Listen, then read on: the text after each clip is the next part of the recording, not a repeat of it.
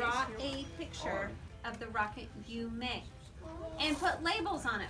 So this is going to be like a diagram on one. Um, once the kids have done their water rocket, they add water here. This is an entire um, sealed bottle on its own. They add about 250 milliliters of water. They take it out to the launcher where a seal is put here, turned upside down. They um, pump it up with a bicycle pump to 95 pounds pressure.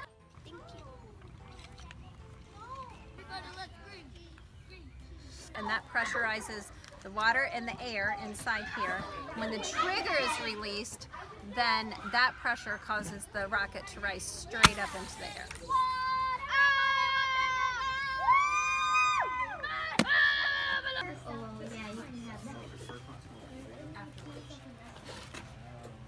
If anything needs repaired, you're welcome to have it repaired by the kids.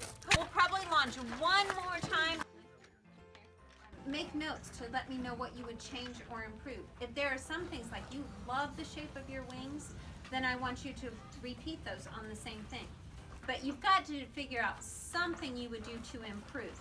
Everybody has had to make some kind of repair, or you've seen that somebody's flew higher, um, straighter. So make some notes on this side. This is low. Let's get out. It's okay. You really might want to go out there so you can watch everybody's final.